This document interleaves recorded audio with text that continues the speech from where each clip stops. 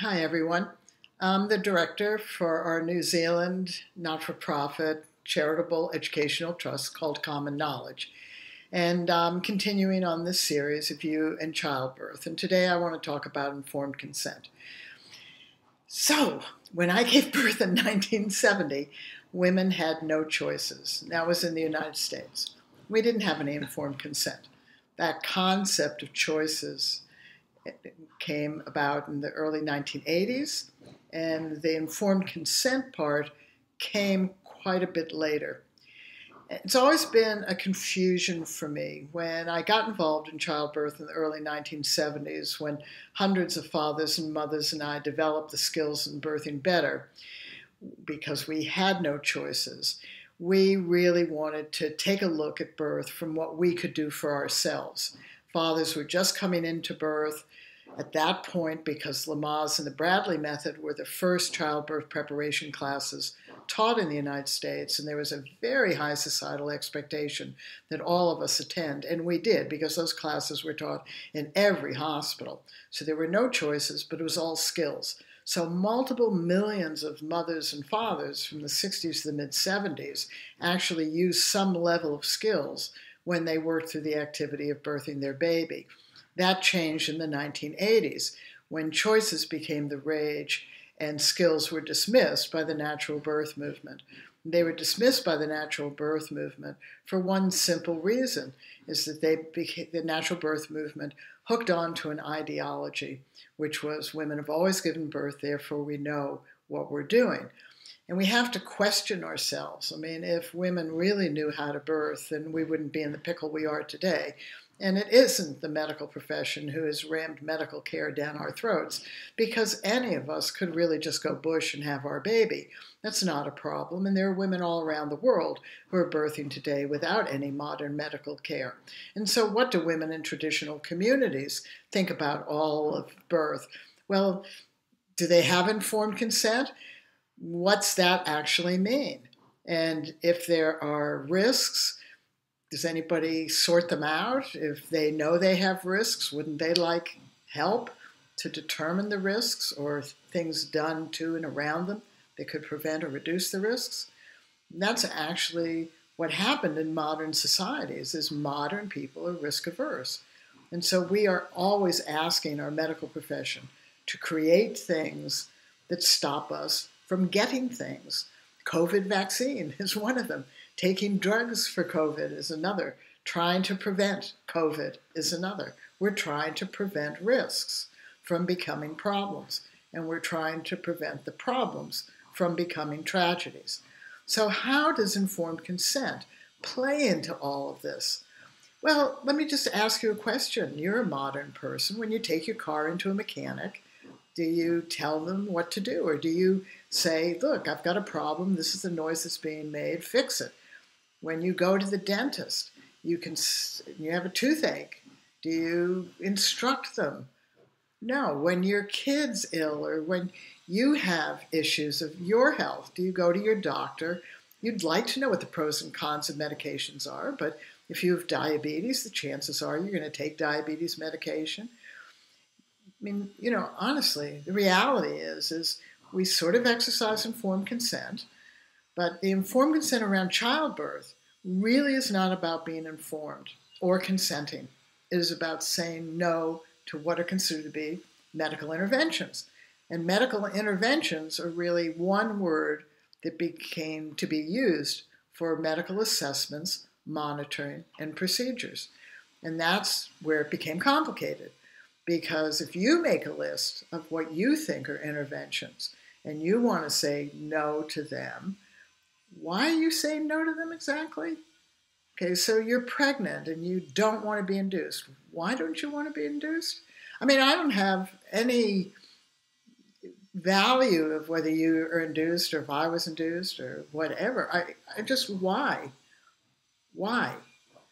So if you say, well, I've read research that an induction causes problems, life causes problems. I mean, honestly, you know, you are more likely to die in a car accident than die at birth, and your kid's more likely to die from a childhood accident than from dying at birth. And so, what is it about childbirth within a hospital environment or even within a home environment in which we see assessments, monitoring, and procedures as being an interference to the process of giving birth. And this, in some ways, is akin to what's happening with COVID, isn't it, around the masks and social distancing. The idea is that somehow there aren't enough risks in COVID, or they're only impacting a specific group of people, and so therefore everybody else should just do what they want. So, in reality, you do not have to see a doctor or a midwife during your pregnancy. You don't have to go to the hospital. You don't have to have anybody with you.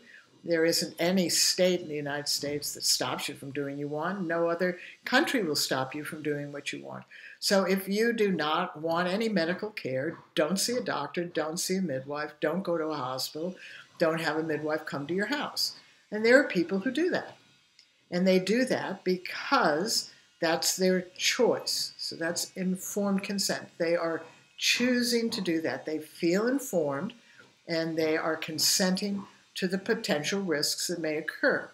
Now, when we talk about risks, there are many, many, many risks around pre pregnant women who then get pregnant and in pregnancy with the mother or the baby, in birth for the mother or the baby.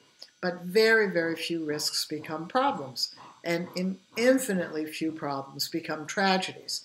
So if you have risks, the chances of your risk becoming a problem are small, and the chances of your problem becoming a tragedy are smaller. However, for us in modern societies, that small risk is something that we're trying to avoid. And this has been true of everything about birth. I mean, one of the biggest ones was stranger danger, right? That started to occur in the 1980s don't talk to strangers. Don't let your kids talk to strangers because they might be abducted or abducted or sexually abused. And yet, all of the research, all of the research says that something like 98% of all problems, sexual problems with children, or even abduction, occurs with people you know. So, stranger danger was a risk that we all reacted to, and our children have grown up to be suspicious of people they don't know. How's that working for us? not very well. So, if you want to use informed consent in your pregnancy and your birth, that's entirely up to you. And you need to know what it is you're asking your care providers to do. So, for instance, when I gave birth to my last child, I went into labor eight weeks prematurely. I wasn't at home, I was in some other place. I had never met anybody there. I took myself to a hospital. They knew I was in labor eight weeks prematurely, and they wanted to, to do assessments, monitoring procedures. I was highly skilled because I had developed these skills since the early 70s and had been at hundreds and hundreds of births where families had used the skills. So I had a choice to make, an informed consent choice, which was get on with what I was doing or argue with them. Why argue with them? I went into their sphere of influence. They're skilled people. They believe, right or wrong, good or bad, that the things that they wanted to do to me or to my child was going to reduce or prevent the risk of having an eight week premature baby from becoming a problem and from becoming a tragedy. So I got on with doing the activity of birthing my baby using skills. And I did it alongside the things that they wanted to do. And many of us, if we've gone into surgery for something, you'll have the anesthesiologist come to you right before they put you out and say, you know, there are risks associated with this. And you're thinking to yourself, lying on that table, is this a good time for being making that decision? And that's the same thing in childbirth it is not a good time for you to be making decisions often, particularly if your behavior, how you sound, and how you look, does not look as though you're coping and managing well. And what are you trying to avoid? You're still doing the activity. If you're going to be induced, that takes, what, 30 seconds? Things like having an IV Um, it's in your arm. It, you're still going to have contractions, or you're going to still be lying on a table having surgery. You're still having to fill time doing something. So, from our Birthing Better perspective, use skills. Learn breathing skills, learn relaxation skills, learn how to work with your partner so that the two of you are using skills to work through the activity of birthing your baby. It's fine to want to have control over your birth, but is the control over external factors? And from our viewpoint as a trust, no, the control comes from our ability to respond to external and internal sensations. So that's us. And in fact, informed consent is our ability to choose how we breathe in and choose how we breathe out and choose where our body is and what we're doing with our body. And we can do those things even if every single hole in our body has a wire or a tube attached to it. Nothing stops us from using skills. However, if we believe, as we've been told since the 80s, that women know what kind of birth they want, if we believe that that is a reality compared to there's no way to know what your birth's going to be like, then we have a problem. Because I knew what kind of birth I wanted. Every woman of the tens and thousands I have talked to around the world know what birth they want. They want a safe birth, right? They want to be safe. They want a healthy mother and a healthy baby. And on the other side of that, they just would like a positive experience. We have put too much emphasis on the delivery of service and on what we expect care providers to give us, and no emphasis at all on what we need to do to become highly skilled to do this infrequent activity that is life transforming, that takes a finite period of time, but does take time, that cannot be replayed, and the memory of which will last the rest of our lives. We have a philosophy or ideology that has been controlling the childbirth conversation since the 80s, and that has not produced positive births for enough women. And it has increased more medical births, partly because from the 70s to the 80s, as the maternity system became more sophisticated, we as consumers started demanding that the risks that we individually had were dealt with through medical care. And this is something that we have not been told. And I lived through. So I know that when I gave birth first in 1970, 95% of us labored, whether we labored for hours or days, whether we had a good outcome or a bad outcome. Risks were considered normal. We had very little birth control, so we had another baby if we had a tragedy. We either coped or we suffered suffering was considered to be normal and natural. That that just indicates that women don't have skills. So when you're putting all of your time into thinking about your birth plan, at least put an equal amount of time into becoming skilled and then create a skills-based birth plan. From 24 weeks, start to tell your birth professional what skill you've learned in each appointment. Fill in that birth plan with the skills that they are going to see you use. And have them put it in your notes because they may not be there at your birth. Someone else might be. And you want to be praised if you're coping and managing well. And you want to be encouraged if you look like you're feeling overwhelmed. But if you lack skills, none of that can happen. And if what you, your stand is on, I didn't want that or I didn't want this, then if you are sounding and looking stressed, really the medical profession just rolls its eyes because they know that you're just talking ideologically and not pragmatically. And what is unfolding is your activity with your baby and your baby. Now, if you say no to induction, that's fine. There are risks to saying no to induction, just as there are saying risks to saying yes to induction. So saying no to something doesn't mean that what's going to happen is going to be good or bad or anything. We don't know the future, we just know the present. So when you're thinking about informed consent as a pregnant woman, become skilled. Start at 24 weeks and use any of the skills based methods out there. Birthing better is one of them, hypnobirthing, hypnobaby, calm birth, birthing within. There are others, boot camp, there are others. That's fine. Any of them. Just tell your birth professional and have them mark it in your note. If you're a birth professional listening to this, you already know how complex informed consent is.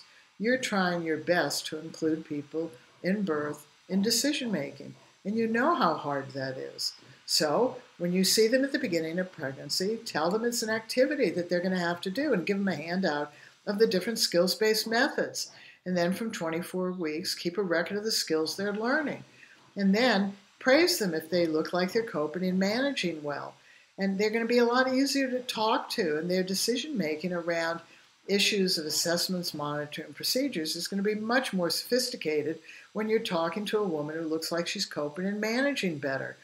And no matter what the risks are, you know very well as a birth professional if all of the assessments and monitoring looks good, then she should just continue to do what she's doing, right? Everything looks good. And if something changes and you have working with a skilled woman, she's more likely to work alongside you and not set you up to feel that you're the monster in the room. So it's a win win situation if we grow a skilled birthing population, if we pass on the concept that when pregnant, it's normal and natural to self learn birth and birth coaching skills and then use those skills to work through the activity of birthing our baby, no matter where we birth or who's present no matter your circumstances or beliefs or your choices or lack of choices or change of choices or what happens at your during the birth. It's your baby's birth. You get pregnant to have a baby. You don't get pregnant to quibble with people. You're getting pregnant to have a baby. And the way that your baby moves out of your body into your arms is through the birth you do. It's not the birth they give you, it's the birth you do. So how does our trust feel about informed consent? Very neutral about it. We don't see it working particularly well. We don't see people being particularly satisfied with it. We know that there's a bunch of research, research out there that says when women are involved in the decision making, they feel better. But I'll tell you what really women like is just when someone says, Look, we really want to do this because. And most people, that's all. They're not really exercising informed consent. They would just like to be informed, right? So it's much easier to, as a birth professional, and it and, and everybody needs to acknowledge this. As a pregnant woman, you're thinking about your birth. As a birth professional, you have to deal with sometimes hundreds of women. And it's very, very difficult sometimes to individuate. so it helps when you have a skilled family that you're working with because they stand out from the crowd. They're easier to work with. So, as a birthing woman, you need to have empathy and compassion for the birth professionals because they may, if you're in a hospital, be attending 10 or more women who are giving birth at the same time as you. They're trying to help you and be involved as much as you can, but you got to cut them some slack. And the best way to cut them slack is for you to get on with the business of birthing your baby and just work with them. If you don't want to be there, don't go there in the first place. Honestly. Right? So become skilled. Yeah, think about what you want and don't want. Recognize if you have everything you don't want, you still have to do the activity picture yourself doing that activity with hoses and wires coming out of every single one of your holes and hating what everybody is doing. Just picture yourself using skills and working through it. You'll feel much prouder of yourself if you do that than if you're constantly, you know, haranguing at what they did and didn't do for them. And in this series is a is a um, a video on birth stories and the missing element because Right now, people are only talking about three elements in childbirth and not the fourth element, which is the skills they're using. And we hear a lot and we read a lot about women having epidurals now, and that's the suffering part, and that just indicates that women aren't skilled now. So, what happened in my generation got put aside by the natural birth movement in the 80s that dismissed skills as that we knew how to birth. So when you think about whether you really believe that women know how to birth instinctively, ask yourself, did you really know how to be a good lover instinctively? Or did your partner know how? And the answer is probably, yeah, not. And just ask yourself whether your kids instinctively know what's safe or poisonous to put in their mouth. And you'd probably go, no, hell no. And then ask yourself, when I'm hungry, do I instinctively know how to cook? And your answer will probably be, nah, not so much. I had to learn those skills. So, what the natural birth movement did was to stop us from thinking about birth as an activity that we have to do and that it should be highly skilled. It's infrequent, we can't replay it. The memories last a lifetime and it's transformative. And given that, we need to elevate it to a highly skilled activity. It's like climbing Mount Everest. You don't do it frequently, and you have to have skills to do it. It's like your Olympic event. You don't do that frequently. You have to have skills to do it. We don't have nine months to prepare for birth, really. We're not interested in doing that. We really have from 24 weeks onward to learn the skills. And the skills are not hard to learn. You have to learn breathing skills, relaxation skills. In birthing better, you learn how to create space in your body and create mobility in your bony pelvis and in your soft tissue, and how to prepare your vajayjay and how to work together as a team, and what to do with your negative thoughts and still using your positive behaviors. So, birthing better is a full range of skills because the mothers and fathers that develop the skills wanted skills to fill in their gaps and we had plenty of gaps. For instance, like women saying the contractions weren't painful, then they became more painful, then they became overwhelming. What fathers could see was that there were five phases to each contraction. So we developed skills around each of those phases, which meant we could cope better through at least four of the phases, and the fifth phase, the peak, only lasted a short time. Or to figure out what positions really were effective in labor so that our baby could give us the message that that so we could have a progressive labor. We figured those things out. We figured out how to have good nonverbal communication. We figured out how and why we should prepare our body if we're going to have a non-laboring cesarean and use skills as we get in the car and being prepped and in surgery. We figured all of this out. So you don't have to figure it out. You just have to learn the skills. And it takes you between 5 and 15 minutes a day or every other day to learn the skills. And if you do get Birthing Better resources, then as a birth, pregnant woman, you pick the skills you want to learn. Don't follow the order. Just pick what you want to learn first. And if you're a birth coach, you pick the skill you want to learn first because both of you have important roles. And then teach each other those skills. So it makes learning a lot faster anyway. And birth coaches are filling in the skills they want, and the pregnant women are filling in the skills they want. And then they share. And then you share a set of common skills.